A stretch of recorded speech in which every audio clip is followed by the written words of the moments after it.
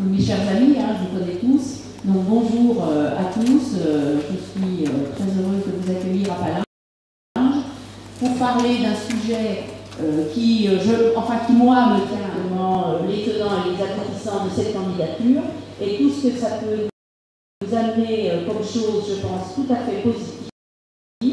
Et puis après, euh, on aura, je pense, une- des questions, euh, questions-réponses euh, à toutes les interrogations, toutes les inquiétudes. Premier pas, en faisant parler du pays charolais euh, par rapport à que les agriculteurs, puisque euh, la presse départementale a fait mention dans l'utilisation Euh, C'est vrai que vous comprendrez en effet que le monde agricole et en général rural euh, est un petit peu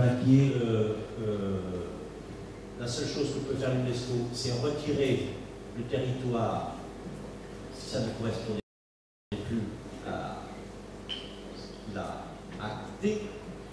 Donc ma question c'est est-ce que euh, le pays charolais ne pourrait pas à ce moment-là euh, lui-même mettre un règlement pour euh, faire en sorte que rien ne bouge. Ce que l'on a peur, voilà, c'est c'est que ça soit une cloche et que dedans on nous demande de ne plus rien bouger sur le territoire.